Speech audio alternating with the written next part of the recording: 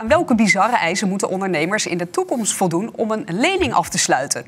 Bedrijven krijgen namelijk vaker een duurzaamheidsscore toegekend op basis van de zogenaamde ESG-criteria. Die kennen een hoge waarde toe aan CO2-uitstoot, diversiteit en inclusiviteit. Hey, I'm Brian. I understand you're looking for a small business loan, but you're having troubles with your ESG score. I was denied. What's your business? I operate uh, drilling equipment, oil and gas. The E in ESG is for environmental. You're in a dirty industry. So I can't get no loan? Tell me about your diversity, equity, and inclusion plan. Well, I ain't got none of that. I'm a driller. I just hire good people to do the work. Well, maybe there's one more thing we can check. Do you have any female co-owners? Uh, no, just me. Ooh, have you ever identified as a woman? Or even just non-binary? It could really help your score. What? Ugh, your loan is denied.